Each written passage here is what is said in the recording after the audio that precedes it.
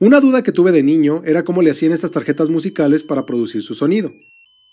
En realidad no es complicado, usa un circuito electrónico con baterías y un buzzer. Ahora la magia se esconde bajo esa resina blanca. Ahí está el chip que tiene guardada la música. Lo voy a quitar y lo pondré en el microscopio.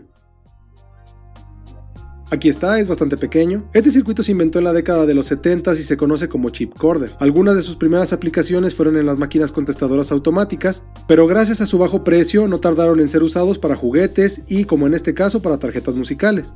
Existen muchas variantes de estos chips, aunque todos contienen una memoria no volátil, un generador de frecuencia interno y un amplificador. Algunos incluyen entradas de micrófono para grabar un audio nuevo, controles de velocidad de reproducción y hasta salidas digitales, pero en este caso no parece tenerlos.